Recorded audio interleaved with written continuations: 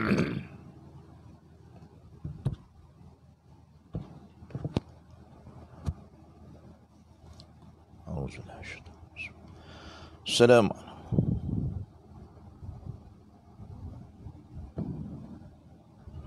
بسم الله الرحمن بسم الله الرحمن بسم الله الرحمن الرحيم. السلام عليكم ورحمة الله وبركاته. أعوذ بالله السميع العليم من الشيطان الرجيم. بسم الله الرحمن الرحيم. الحمد لله. الحمد لله الذي هدانا لهذا وما كنا لنهتدي لولا أن هدانا الله. وما توفيقي وما توكلي إلا على الله. أشهد أن لا إله إلا الله وأن محمدا عبده ورسوله. اللهم صل وسلم على حبيبنا وشفيعنا محمد الأمين خاتم الأنبياء والمرسلين وعلى آله وأصحابه أجمعين. قال سبحانك لا علم لنا إلا ما علمتنا إنك أنت العليم الحكيم. اللهم فقهنا في الدين اللهم فقهنا في الدين. اللهم فقهنا في الدين وعلمنا التأويل واهدنا إلى صراطك المستقيم amma ba'd yang semuliakan tuan pengurusi masjid seluruh ajudan kuasa masjid yang ada tuan-tuan haji, puan-puan hajah, tuan-tuan dan puan-puan muslimin dan muslimat para jamaah yang dirahmati Allah sekalian. Alhamdulillah. Ya, pertama-tamanya dan selama-lamanya marilah kita bersama-sama pada pagi yang berbahagia ini. Di bulan yang Allah Ta'ala muliakan ini kita berada di bulan Muharram. Pada pagi ini kita sudah berada pada pagi yang ke-18 Muharram. Kita bersyukur kepada Allah Subhanahu Wa Ta'ala. Allah Ta'ala masih lagi menganugerahkan kita peluang yang amat berharga untuk sama-sama kita syukuri eh, dengan kita mempertingkatkan proses pengabdian diri kita kepada Allah Subhanahu wa taala. Dan alhamdulillah pada pagi ini Allah taala anugerahkan kita dengan hidayah tu taufiknya. Ya kita masih lagi diberikan kesempatan oleh Allah Subhanahu wa taala untuk tergolong daripada golongan orang-orang yang memakmurkan rumah Allah Subhanahu wa taala. Seterusnya dapat kita bersama-sama menunaikan solat fardu subuh secara berjamaah. Taqabbalallahu minna wa minkum ya karim. Moga-moga diterima oleh Allah Subhanahu wa taala. Dan seterusnya Allah taala masih pilih kita untuk sama-sama kita berada di dalam majlis ilmu Allah Subhanahu wa taala lebih-lebih lagi majlis ilmu kita pada pagi ini membicarakan sebuah kitab yang menceritakan tentang sifat-sifat Nabi kita Muhammad sallallahu alaihi wasallam melalui kitab Asy-Syama'il Muhammadiyah. Moga-moga kehadiran kita pagi pada pagi ini dirahmati diberkati oleh Allah Subhanahu wa taala insya-Allah. Dan insya-Allah pada pagi ini kita akan sambung kitab Asy-Syama'il Muhammadiyah yang mana pada pagi ini membicarakan tentang sifatu akli Rasulullah sallallahu alaihi wasallam membicarakan tentang sifat ataupun cara makan Rasulullah sallallahu alaihi wasallam. Ha, lepas ini kita nak pun nak makan makan pagi kita belajar macam mana cara Nabi makan. Insya-Allah. Jadi sebelum kita nak teruskan pengajian kita pada pagi ini terlebih dahulu marilah kita berselawat ke atas Nabi SAW sebagai tanda kita bersyukur menjadi umatnya dan buka majlis kita dengan umul kitab Allahumma salli ala Sayyidina Muhammad wa ala ali Sayyidina Muhammad. Salli ala Sayyidina Muhammad wa ala ali Sayyidina Muhammad اللهم صل على سيدنا محمد وعلى آل سيدنا محمد. اللهم صل على سيدنا محمد وعلى آل سيدنا محمد. اللهم صل على سيدنا محمد وعلى آل سيدنا محمد. اللهم صل على سيدنا محمد وعلى آل سيدنا محمد. اللهم صل على سيدنا محمد وعلى آل سيدنا محمد. اللهم صل على سيدنا محمد وعلى آل سيدنا محمد. اللهم صل على سيدنا محمد وعلى آل سيدنا محمد. اللهم صل على سيدنا محمد وعلى آل سيدنا محمد. اللهم صل على سيدنا محمد وعلى آل سيدنا محمد. أعوذ بالله من الشيطان الرجيم. بسم الله الرحمن الرحيم. الحمد لله رب العالمين. الرحمن الرحيم. مالك يوم الدين. إياك نعبد وإياك نستعين. اهدنا الصراط المستقيم. صراط الذين أنعمت عليهم غير المغضوب عليهم ولا الضالين.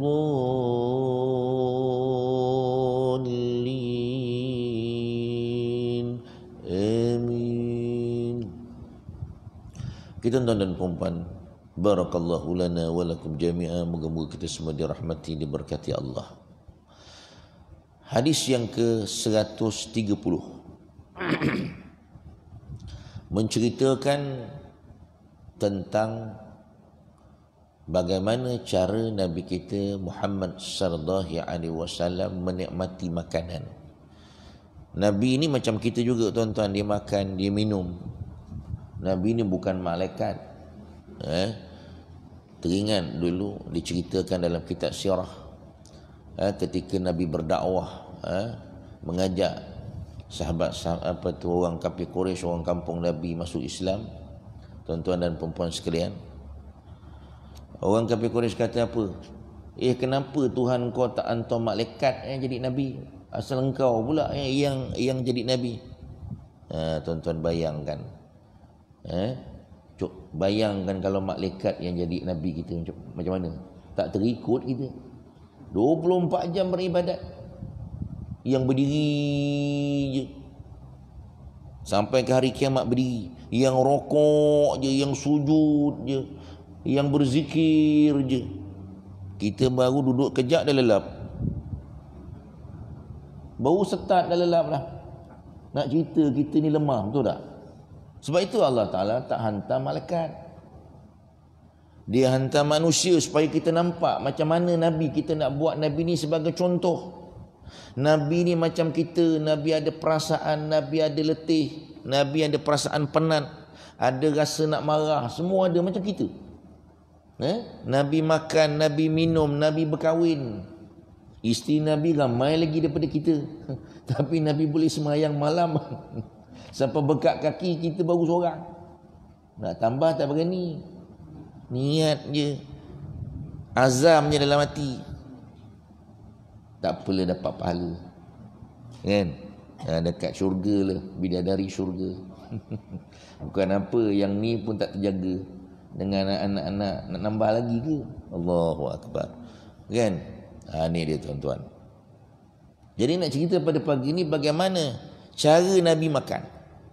Nabi pun makan juga macam kita. Tapi ni Nabi ni makan macam kita ke? Gelujur makan kita ke? Ha? Teruja sangat ke nak makan? Ha, kita tengok pagi ni. Diambil hadis yang 130 ni menjilat jari selepas makan. Ha, cerita jilat jari lepas makan. Daripada Ka'ab bin Malik anna Nabi sallallahu alaihi wasallam kana yal'aqu asa'ibahu salasan. Diceritakan oleh Ka'ab bin Malik bahawa Rasulullah sallallahu alaihi wasallam Nabi ini menjilat jari-jari baginda tiga kali selepas makan. Lepas makan jilat jari. Kita nak jilat jari macam mana makan pakai sudu? Takkan nak jilat sudu pula. Eh? Dalam bahasa Arab tuan-tuan, perkataan yala aku. Eh? Sudu tu ataupun garpu dipanggil dalam bahasa Arab mil'aqah. Sudu tu mil'aqah. Asal daripada perkataan inilah la'iqa yal'aqu mil'aqatun sudu. Eh, orang kapi dia rekakan garpu tu betul-betul macam jari betul. Eh, dia nak gantikan Allah Taala dah bagi alat eh, jari ni dah ada digantikan. Dia buat reka pula padahal tak payah. Padahal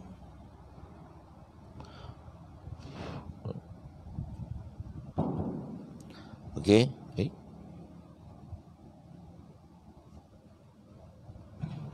Ha. Bismillahirrahmanirrahim. Okey. Padahal tak tak payah ada lagi pakai uh, garpu kan, pakai sudu. Eh, Allah Taala dah bagi dah alat ni. Eh? Alat tangan kita ni tuan-tuan. Eh? Allah Taala bagi dia punya keistimewaan dia sangat besar. Daripada segi kesihatan bila kita jilat dia memberikan kesihatan kepada tubuh badan kita sebab itu Nabi jilat tiga kali jari dia Nabi jilat tiga kali jadi hadis ini menceritakan bahawa Nabi sallallahu alaihi wasallam menjilat jari-jari baginda selepas makan sebanyak tiga kali iaitu setiap jari dijilat tiga kali sebelum basuh setiap jari itu tiga kali jilat sebelum nak basuh. Ha, kita cepat no nak nak basuh jari tak nak jilat. Kan? Ha, kita sunnah ni pun kita dah tinggal dah makan pakai sudu. Tengok lepas ni siapa makan pakai sudu lepas ni. Dan berbelanja pun pakai sudu lagi.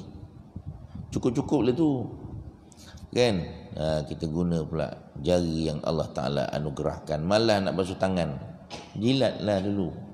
Ha, lepas tu kita tisu pun ada. Zaman Nabi tak ada tisu. Nak hilangkan minyak-minyak tu. Kan? Ha, hilangkan minyak dulu. Ha, jilat dulu, hilangkan minyak apa semua. Ha, barulah kita basuh. Okay, ini hadis 130. Nabi menjilat jari dia tiga kali setiap jari. Jangan kita kata orang jilat jari ni, eh, teruk no. Kelahap no nampak sampai jari-jari pun nak jilat. Ah, salah tu ha, Nabi tunjukkan dekat kita ha, Jadi jangan kita mengata pula orang jilat jari ni orang kelahap ke apa benda lah tak cukup dengan nasi dengan jari-jari pun nak makan juga kata dia. Ya Allah Ya Rabbi. Macam tu sekali. Itu sunnah Nabi tu. Kalau tak nak buat jangan kita hina orang. Ini sunnah Rasulullah SAW Berdosa kita. Eh? Itu sunnah Rasulullah SAW Ada dia punya kelebihan dia Ada dia punya khasiat dia eh, daripada segi kesihatan. Sebab itu Nabi buat. Nabi ini doktor. Doktor pertama di dunia. Eh? Pasal Nabi belajar daripada Allah. Adabani Rabbi fa ahsana ta'dibi kata Nabi. Aku ini belajar daripada Tuhan aku. Alangkah indah pendidikan daripada Tuhanku kata Nabi. SAW. Ha, Nabi belajar daripada Allah bukan belajar daripada daripada manusia. Eh? Ha, ini dia tuan-tuan dan puan sekalian. Ini perkara yang kita kena ambil perhatian. Hadis 131 daripada Anas bin Malik radhiyallahu anhu qala kana an-nabiy sallallahu alaihi wasallam idza akala ta'aman la'iqa asabi'uhu thalatha. Nabi ni apabila makan sesuatu makanan baginda akan menjilat tiga jarinya yang digunakan semasa makan. Sama juga cerita pasal jilat jari. Eh? Ha, jadi Hari ini juga menceritakan bahawa Nabi SAW setiap kali selesai makan Baginda akan menjilat ketiga-tiga jari yang digunakan semasa makan Sebelum mencucinya. Ha, Ketiga-tiga jari. Ha, Nanti kita akan jumpa Nabi ni makan rupanya tiga jari je. Kita semua jari. Kan? Ha. Sebab itu dia kata tiga-tiga jari dalam hadis yang lain Nabi SAW menerangkan sebab kepada amalan tersebut. Ha, apa sebab amalan itu? Daripada Jabir radhiyallahu an anna Nabi sallallahu alaihi wasallam amara bil aqil asabi'i was sahfa wa qala innakum la tadruna fi ayyi fi ayyatil barakah. Ha. Nabi menyuruh menjilat jari-jari dan talam ataupun pinggan selepas makan. Ha, talam pinggan pun kena jilat bukan ambil pinggan tu pergi jilat macam tu. Jari tu buat macam tu jilat. Dengan pinggan-pinggan kali dengan talam-talam besar macam tu jilat oh teruk no rupa. Kan? Ha? Jari tu kita buat macam tu dekat pinggan jilat macam tu. Ha. Jadi ucapan baginda dalam hadis di atas sesungguhnya kamu tidak mengetahui bahagian mana yang terdapatnya barakah. Ha ni yang paling penting ni. Keberkatan yang kita nak. Eh, dalam kehidupan kita keberkatan sangat-sangat kita cari. Dalam kehidupan kita seharian ni. Apa makna barakah? Set, eh, barakah ni maknanya kebaikan. Ha, kalau dalam makanan dia kata memberi makna setiap makanan yang dimakan oleh manusia terdapat keberkatan padanya. Namun kita tidak dapat pastikan adakah keberkatan itu terdapat pada makanan yang telah dimakan atau pada yang masih berbaki di jari atau yang berbaki di pinggan atau yang terjatuh. Ha, mana barakahnya dimakan pun tak habis. Tadi bukan main tamak lagi. Bubuh sampai penuh pinggan. Menggunung pula tu. Kan? Nafsu makan bukan main kuat lagi. Tapi bila makan tak selera pula. Allah Ta'ala tarik selera tu. Pasal kita tamak sangat. Ha? Tengok lauk. Uh, macam nak makan. Bila makan tak ada pula. Kena pula tak sedap pula ha, payau lah rasa tak ada rasa pula tu. Hmm. nampak tu. Jadi yang penting keberkatan ni tuan-tuan yang kita nak. Sebab itu kita perlu menjaga semua makanan untuk memastikan keberkatan yang diperolehi. Makna al-barakah kata dia adalah tambah aziyadah. Tetap makna. Barakah ni yang pertama makna dia aziyadah. Bertambahnya kebaikan. Yang kedua subutul khair, tetapnya kebaikan. Yang ketiga al-imta'u bihi, mendapat ataupun menikmatinya.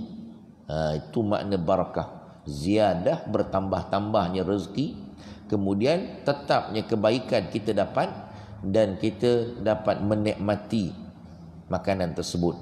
Makna yang dikendaki di sini ialah yang terhasil daripada tujuan makanan selamat daripada akibat buruk makanan dan memberi kekuatan untuk mentaati Allah Subhanahu wa taala. Itu makna tujuan kita makan ni. Eh, bila kita dapat barakah, kita terhindar daripada segala keburukan kat makanan tu. Sakit perut. Berak-berak, eh, tak genti-genti duduk dalam tandas je ha, pasal apa tak dapat barakah ha, keburukan pada makanan kerana tidak mendapat keberkatan kemudian yang kedua yang paling penting makanan itu bila kita mendapat barakah memberi kekuatan kepada kita untuk beribadah makan ni untuk beribadah yang bagi kenyang Allah Makan apa pun kalau tak lebih kenyang dia dia kenyang. Jangan kita kata, "Eh aku tak boleh kalau tak makan nasi kan tak kenyang." Eh jangan. Yang bagi kenyang tu bukan nasi. Betul? Ada orang tak makan nasi pun kenyang. Eh? Badan dia slim je pasal dia tak makan nasi. Boleh je. Okey je. Dia makan lauk je. Eh? Kita tak boleh. Oh, tak boleh. Kita orang Melayu ni tak boleh kena makan nasi. Kalau orang tak kenyang. Eh? Ha, jangan jaga macam tu. Itu daripada segi akidah. Yang memberi kenyang adalah Allah. Yang bagi makan kita pun Allah juga. Kadang-kadang kalau Allah Ta'ala tak bagi makan, makan depan mata pun kita tak boleh makan. Baru nampak makanan, weh, muntah. Ada juga. Tak boleh makan. Nak makan, teruja sangat nak makan. Tengok makanannya muntah. Ha, pasal apa? Pasal Allah Ta'ala tak bagi kita makan. Yang bagi makan itu ada adalah Allah. Yang memberi kenyang juga adalah Allah Subhanahu Wa Ta'ala. Ini perkara yang kita kena ambil perhatian, tuan-tuan. Jadi keberkatan yang kita nak. Jadi pengajaran daripada hadis ini juga galakkan menjilat jari selepas makan kerana merupakan amalan Nabi sallallahu alaihi wasallam untuk mendapat sepenuhnya keberkatan daripada makanan paling baik adalah mengulangi jilatan sebanyak tiga kali bagi menggabungkan kedua-dua hadis itu. Kemudian menghargai setiap nikmat Allah walaupun sedikit. Jangan mensia-siakan. Sebab itu Nabi jilat makanan tu yang ada sisa-sisa tu. Tak sia-siakan nikmat yang Allah Ta'ala bagi. Orang lain yang tak ada makanan tu. Ya Allah, kesian seminggu pun tak makan. Yang kita ini yang nikmat dah berlebih-lebih ni. Makan sikit dah buang. Makan sikit dah buang dalam tong sampah. Ha? Ha. Jadi Hadis ini nak beritahu kepada kita supaya kita menghargai Nabi mengajar kita menghargai setiap nikmat Allah. Sebab itulah semua makanan yang dimakan termasuk yang ada di celah-celah jari dan di pinggan perlu diselesaikan. Perlu dihabiskan. Yang ketiga mencari keberkatan daripada Allah yang bagi barakah tu Allah dalam setiap amalan kita iaitu dengan mematuhi syariat dan mengikut sunnah Rasulullah SAW. Keberkatan tu daripada kita beramal dengan sunnah Rasulullah. Sunnah Rasulullah dalam bab makan ni dapat barakah kerana kita cuba menghabiskan. Tidak meninggalkan sisa-sisa makanan. Yang tinggal sisa tu yang syaitan makan. Bagi dia gemuk, nak kacau kita. Eh? Ha. Okey, cara duduk pula. Macam mana cara duduk Nabi masa makan? Daripada Abi Juhaifah Qala qala an-nabiy sallallahu alaihi wasallam amma ana fala akulu muttaqi'a. Eh? sahabat ni menceritakan Rasulullah sallallahu alaihi wasallam maka bersabda Adapun aku kata Nabi maka aku tidak akan makan dengan duduk ittika. Apa makna ittika? Duduk bersila. Oh, kita suka duduk bersila ni. Eh? Duduk bersila ataupun makan sambil menyandau. Ha. Jadi hadis ini menegaskan bahawa Nabi tidak akan duduk secara ittika yang dipanggil muttaqi'a ittaka'a yattaqi'u ittika. Orang yang duduk bersila yang bersandar namanya muttaqi'un, muttaqi'un. Ya, tuan-tuan duduk menyandar kat tiang kat dinding dia panggil muttaqi'un 'alal jidar, duduk menyandar kat tiang. Eh, dekat dinding. Ada tiga tafsiran ulama tentang duduk etika ni yang dinamakan etika ni ulama bagi tiga tafsiran makna dia. Ha, sama ada dia bersila ke apa tengok kan. Yang pertama duduk etika ni duduk dengan punggung tetap dan selesa atas lantai. Punggung dua-dua tetap atas lantai. Ha? Atas lantai lapik ataupun alas seperti macam duduk macam duduk bersila lah. Ha? Dan sebagainya iaitu duduk orang yang ingin makan banyak. Ha, duduk selesa nak makan banyak lah tu. Kan? Ha. Ataupun duduk dengan bersandar, berehat atau usuk kanan, usuk kiri. Ha, duduk menyandau, bersandar atau usuk kanan, usuk kiri. Ha. Duduk bersandar di atas satu tangan dan makan dengan tangan satu lagi. Ha, nampak no malah makan. Macam tak nak makan. Kan? Ha, jadi makan ni jangan nampak macam malas sangat. Jangan nampak macam teruja sangat nak makan. Ha? Nak nampak macam nak makan banyak. Duduk dengan salah satu cara di atas kata dia bercanggah dengan cara makan Nabi iaitu makan dengan sedikit dan tidak berlama-lamaan. Tidak berlama-lama di depan makanan. Tak duduk lama-lama lah. Kita yang lama yang bersembang tu lama. Kan? Duduk, order dekat kedai kopi. Kopi segala aja dua jam. Hmm. Kan? Nabi tak suka buat macam tu tu. Buang masa eh? banyak lagi kerja lain nak buat untuk mendekatkan diri kepada Allah. Malah makan sambil bersandar di atas rusuk boleh menjejaskan kesihatan. Eh? Imam Ibn Al-Qayyim menegaskan dalam kitab Zadul Ma'ad ketiga-tiga jenis duduk di atas tercela ketika makan. Imam Al-Khattabi berkata setiap orang yang duduk dengan saksama di atas satu pelapik atau alas maka dinamakan muttaqiun Al-Imam Nawawi sebut hadis di atas memberi makna aku tidak akan duduk ketika makan sebagaimana duduknya orang yang ingin menikmati makanan yang banyak. Itu makna hadis tu. Sebab itu dia duduk dengan tetap akan tetapi aku duduk sebagaimana duduknya orang yang tergesa-gesa untuk bangun dan aku makan sedikit sahaja.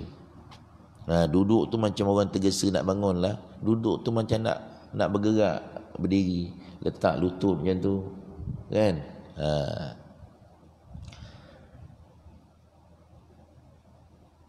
jadi pengajaran hari ini juga tidak duduk secara etika bersila ni tadi ketika makan kerana tidak disukai oleh Nabi. Sebagai gantinya duduklah secara duduk Nabi SAW ketika makan. Akan diterangkan lepas ni. Macam mana duduk Nabi lepas uh, ketika makan.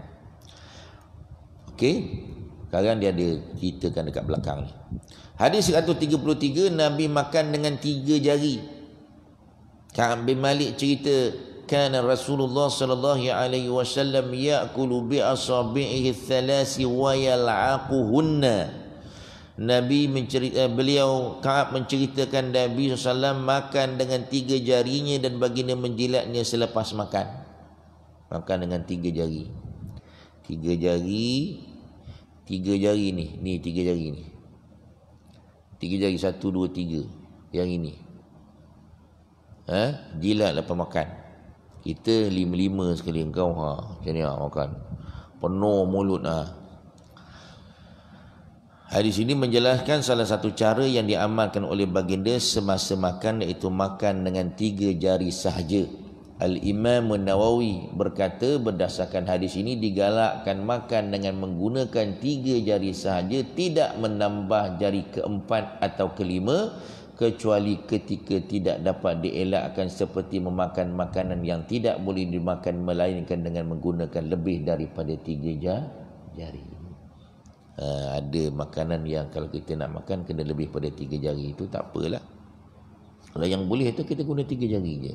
Jadi baru sikit makan tu. Kan? Ha, dia tak ambil banyak. Okey. Okey. Jadi itu Nabi makan cara Nabi makan menggunakan tiga jari daripada awal sampai akhir. Ada orang kata mula-mula je tidak. Seterusnya sampai akhir. Hadis 134 daripada Anas bin Malik yaqulu utiya Rasulullah sallallahu alaihi wasallam bitamrin faraitu ya'kulu wa huwa muqin minal ju'i. Anas bin Malik cerita Rasulullah SAW dibawa kepadanya buah tamar. Orang bagi dia buah tamar. Bagi Nabi ni. Maka aku melihat baginda makan sambil duduk secara al-iqa' ha, ni duduk iqa' duduk iqa' kerana lapar. Jadi hadis ini cerita Nabi makan duduk iqa' menurut riwayat dalam Musnad Imam Ahmad Anas bin Malik menceritakan Rasulullah SAW telah dihadiahkan tamar lalu baginda mengagih-agihkannya di dalam bekas yang sama di mana akulah yang menjadi pengantarnya kata dia sehingga habis kurma itu diagihkan kemudian barulah baginda makan daripada tamar itu sambil baginda sallallahu alaihi wasallam duduk secara iqa dengan makan dengan agak pantas Melihat kepada cara makan baginda, aku mengetahui ketika itu baginda sedang lapar. Pada waktu baginda sedang lapar. Cara duduk iqa'a ni macam mana? Duduk di atas pangkal peha dalam keadaan ingin segera bangun. Eh? Bukan dengan duduk menetap di atas lantai, bersila mengiring atau selanjutnya. Eh? Duduk peha atas lantai.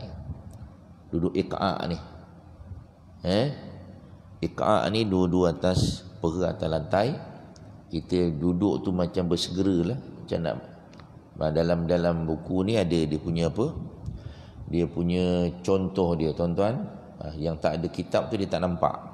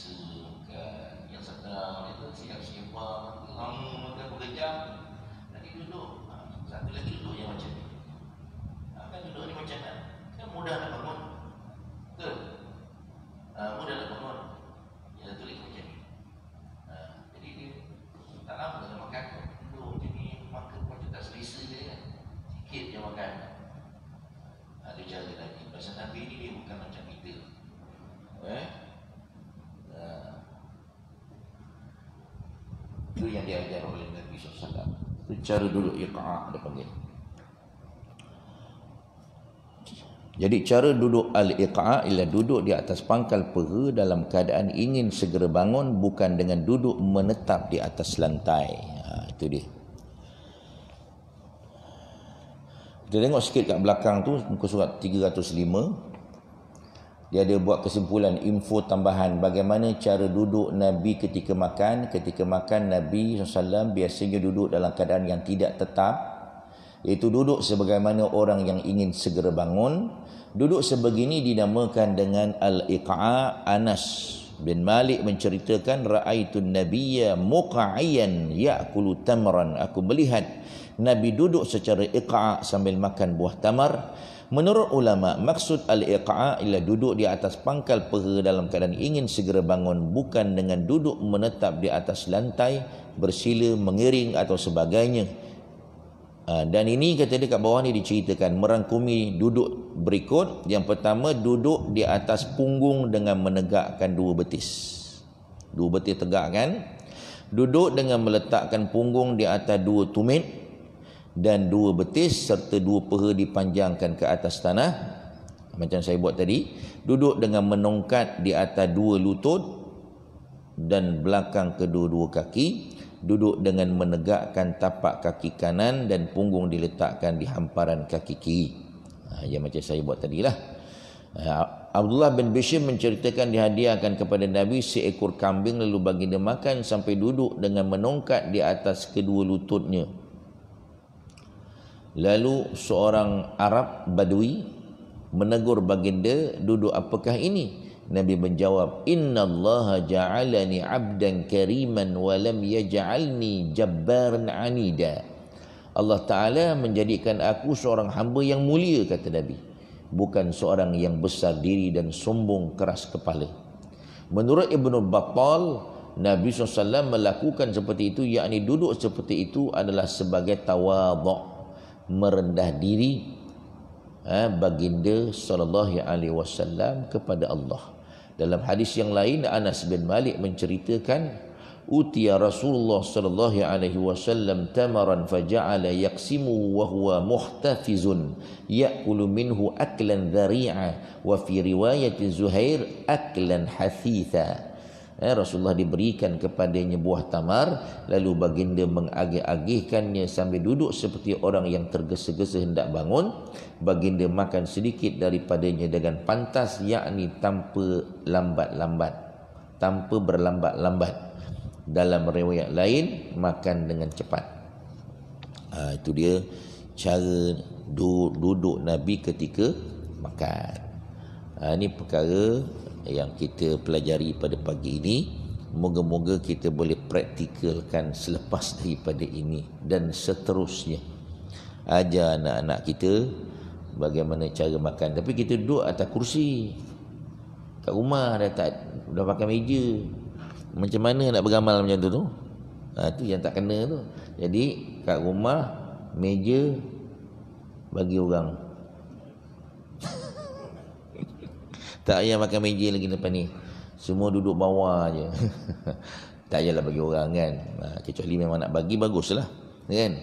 Ha, tapi kalau meja tu guna untuk orang yang memang tak boleh duduk bawah ada orang yang memang tak boleh duduk bawah kan ha, sakit kita bagi peluang untuk kita yang boleh ni kita makan dalam talam anak beranak tak payah pakai pinggan lagi pakai talam ha, Nabi makan sahabat dia di rumah dia dengan isteri dia dengan menggunakan talam makan bersama. Ha, jadi boleh berkongsi ha, nak menghilangkan rasa jijik. Ini anak-anak kita eh, pinggan yang dipakai oleh mak bapak dia pun dia tak nak tak nak makan. Jijik dia. Kan? Gelas yang mak dia dah minum bapak dia dah minum pun dia tak nak tak nak minum pakai gelas bapak dia. Macam tu sekali. Kena basuh dulu. Tak basuh pun tak apa eh ha. nak makan dalam talam lagi tak nak dia jadi kita kena ajar dia akan menimbulkan rasa kasih sayang tu itu kehebatan dia makan dalam talam sebenarnya. Ha, itu boleh buat di rumah kita bersama keluarga untuk menambahkan rasa ha, kasih sayang di kalangan adik-beradik, di kalangan keluarga. InsyaAllah. Jadi saya situ saja untuk kali ini. Moga-moga kita dirahmati, diberkati oleh Allah Subhanahu Wa Taala. Ada tanya? Enggak?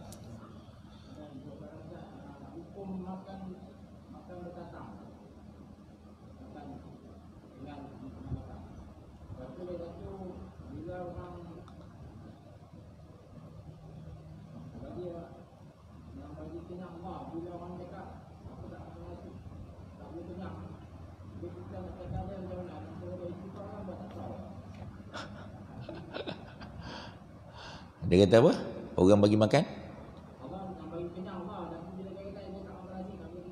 Ha.